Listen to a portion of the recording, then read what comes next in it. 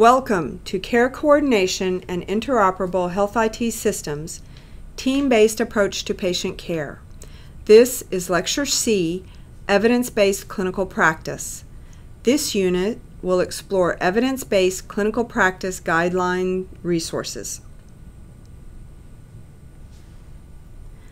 The objective for this unit, Team-Based Approach to Patient Care, Lecture C, is to identify evidence-based clinical practice guideline resources. The following slides provide a general overview from change management and project management perspectives of managing transformation to team-based care coordination. There is no one complete proscriptive approach to this process. This guidance should be considered in the context of your organization's setting and scale. A change plan for team based care transformation requires planning phases of assessment and reassessment through transformation to a collaborative team based care model. Phases should include opportunities for gap analysis, milestones measurement, an examination from baseline to current milestone progress, monitored and tracked for optimum adaptation during the transformational change process. Phases should include opportunities for gap analysis, milestones measurement, and examination from baseline to current milestones progress, monitored and tracked for optimum adaptation during the transformational change process. Refer to Component 18, Unit 10 for more information on change management. In the assessment phase, start to create an effective measurable plan by assessing the collaborative team leadership and team roles and responsibilities to establish a baseline related to the transformation team-based care key elements, standards, and criteria defined in the patient-centered medical home team-based care models. This allows leadership to target and prioritize where to most easily begin transformation to yield the highest results, gain early momentum, and maximize experience satisfaction. Planned measurement and gap analyses during transformation plan phases strategically reveal when, where, and how to analyze and adapt plans to efficiently move towards establishing high functioning team based care. Planned measurement and gap analyses during transformation plan phases strategically reveals when, where, and how to analyze and adapt plans to efficiently move towards establishing high functioning team based care. Systems technology provides capabilities and opportunities for identification and prioritization of managing clinical conditions with an emphasis on managing population health, wellness promotion, disease prevention, chronic disease management, and patient activation and engagement.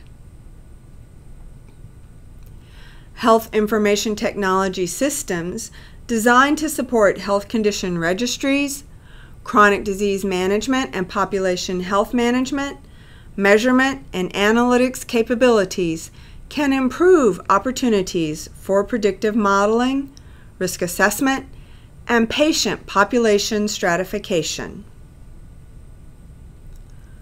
High risk or high acuity patient population data can be analyzed and used to identify and prioritize the patient population in a given population of patients or a provider panel. This is done in order to measure the highest stratification for the most needs and most increasing needs for healthcare utilization. High risk patients have three or more chronic diseases, poorly controlled chronic diseases, demonstrated difficulty with care recommendations and compliance, three or more hospitalizations and or emergency department visits in the past year, identified high healthcare cost and services utilization according to health plan or payer historical data, risk associated to social determinants of health, SDOH. The most common chronic diseases worldwide are heart disease, stroke, diabetes, asthma, cancer, and chronic obstructive pulmonary disease, or COPD. There are many risk factors associated with chronic illness. However, at all ages, the vast majority of chronic disease deaths in men and women can be explained by the following common modifiable risk factors that can benefit from team based intervention unhealthy diet, physical inactivity, and tobacco. Although death rates from chronic disease are falling, the prevalence of chronic disease is rising. This is due to changes in population demographics, in particular, the aging of the population, as well as increased exposure to risk factors resulting from social and environmental changes. Refer to Component 21 for more information on population health and health IT systems. Developing a culture of proactive care management depends on providing adequate, evidence based best practice tools into systems. Historically, evidence based clinical guidelines have been cause for apprehension for primary care providers. Primary care physicians fear evidence based guidelines can create a cookbook approach that is overly formulaic and standards dependent. Primary care physicians often prefer an individualized approach that allows for nuance in care. However, in recent years, physicians have become more accepting of evidence based guidelines. They have the ability to discuss, agree upon, and choose their own evidence based guidelines, EBG, and measures. Furthermore, primary care providers can also use EBGs embedded in electronic health record systems to realize the value for establishing standardization of care and continue to support unique individualized interaction and clinical management of patients. They can find that after implementing structured guidelines for population management, they have more time for individual clinical management because their team is attending to the minimal standards of care.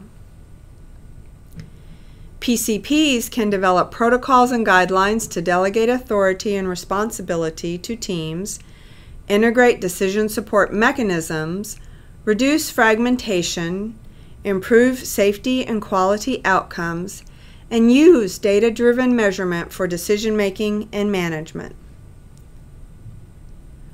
Listed on the next few slides are recognized resources for evidence based guidelines. Evidence based guideline resources may be embedded within health information technology systems and or in addition to systems and support preventive health chronic diseases or other health conditions as agreed upon by clinicians choosing the guidelines. Clinical researchers and or clinical organizations are responsible for performing research and rigorous development processes to provide resources for the highest quality scientific evidence. Some of these resources include the Institute for Clinical Systems Improvement, the Michigan Quality Improvement Consortium, the American College of Physicians, ACP, the U.S. Preventive Task Force, NQF Diabetes, the American Diabetes Association, ADA, and the American Association of Clinical Endocrinologists, AACE. The Centers for Disease Control and Prevention, National Heart, Lung, and Blood Institute, the American College of Cardiology, Agency for Healthcare Research and Quality, AHRQ, U.S. Department of Health and Human Services National Guideline Clearinghouse, Agency for Healthcare Research and Quality, AHRQ, U.S. Department of Health and Human Services Innovations Exchange. The references to these resources are listed in the References section at the end of the lecture slides. This concludes Lecture C, Evidence-Based Clinical Practice of Unit 2, Team-Based Approach to Care Coordination. In summary, this lecture covered a change plan for team-based care transformation requires planning phases of assessment and reassessment. Properly designed health IT systems hold potential. The primary care physicians, PCPs, can utilize evidence based clinical practice guidelines, and there are a variety of evidence based clinical practice guideline resources available. To summarize the unit team based approach to care coordination, team based care is a proven preferred model.